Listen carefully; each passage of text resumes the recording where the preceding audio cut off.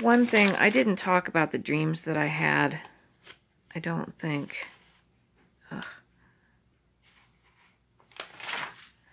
Because my dreams are getting so erased. Like one night, I had just like the name Reality Winner came to me at 1.40 a.m.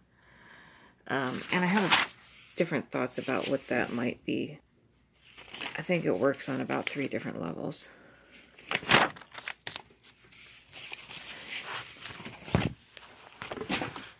Okay, on the night of April 7th, okay, I got this brief image, and I mean, like, part of me wants to just not even write something like this down because it's so bizarre and out of nowhere. But the fact that it is bizarre and out of nowhere and brief and flickering and all of that, or mostly that it's bizarre and out of nowhere, means that maybe there's something to it. Like, why would this come to you? Why would this image come to you? You know, this is sort of like right before I'm trying to go to sleep and everything, and then I see this flicker of an image. And this is a girl with red hair, shoulder length or longer, like straight red hair, bangs, maybe wearing green or green blue plaid, looks Irish. Um, and I kind of woke up after that and I thought of a couple people that that could be that I've known over the years. But um, then this morning I looked at it and I thought, oh, well, that's kind of like me at a certain point in my life. Um, I don't know. Then 9:42 p.m. I write office. I think this says um, what I translated as earlier later this morning later was office gift office characters linked to singing. But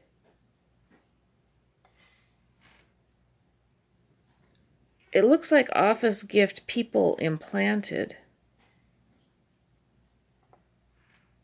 Wow, that's weird that I missed that over there.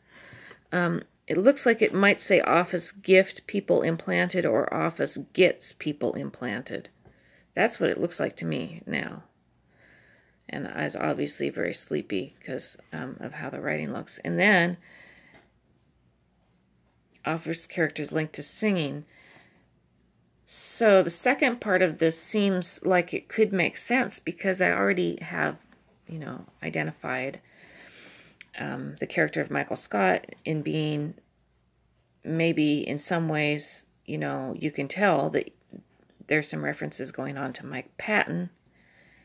So therefore, then if you think about, I don't know, like I, it would help. It would be something maybe that's an inside joke of people that know certain people and certain situations way better than I do, but you know, the character who plays Creed is Creed, and he was, you know, um, in a band in the 60s, and um, I keep forgetting the name and all of that. But um, let's see, what else? And so then there's Andy, the a cappella singer, and um, so yeah, I have a feeling that that might work on that level. That people in the office all might somehow in some way match some kind of singer or something. Maybe, I don't know. Okay, so then um, Get an image of propped up trees and a list of things done by the right. And so that's kind of what like the rest of the night seems like it is. One of those nights where there's dreams going on and I can't remember them and this is it.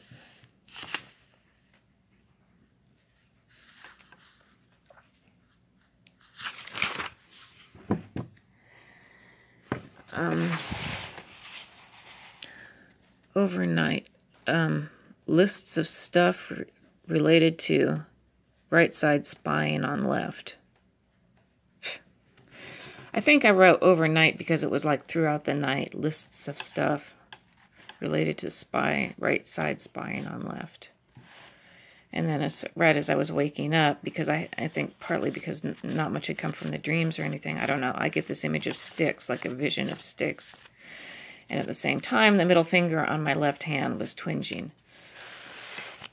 So I think that the middle finger on the left hand, you know, I mean, assuming that I'm to trust the fact that any of this, you know, any of it, but especially um, the different twinges that I get on my body, um, but I think the left fing- middle finger on the right hand relates directly to us as we're sort of implanted and trapped. So then the middle finger on the left hand, I think, think relates to people who are in that same position from the other side. So that might be somebody like possibly Mike Patton, maybe.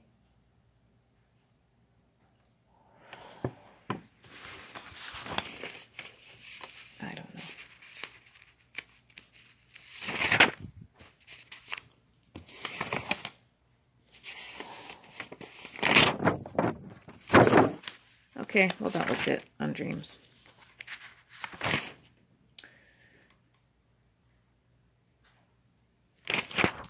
I will say that you know it's this here talks about one side spying on the other, and um, that's really important that to allow or excuse somebody spying on somebody else, especially that someone that's really empowered to spy and distribute spy related materials, including you know disinformation and um,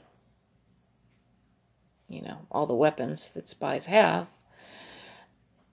that's not really fair if the others, you know, because it's not fair. I mean, you know, it's just like um it's a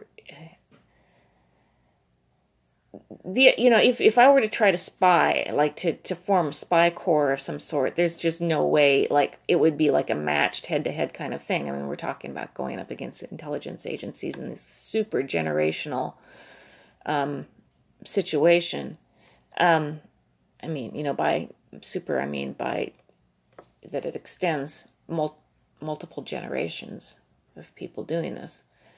And these people have a lot of money and power and influence.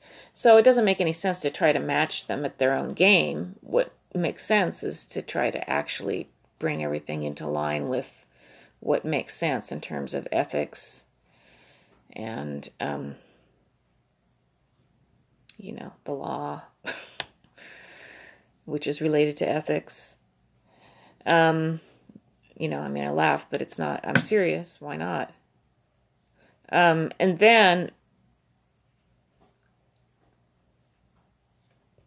you know, then you've got at least a chance of something being somewhat balanced or at least looking, being able to see where the imbalance is and all that kind of stuff. So, anyhow, um, spying is a, um,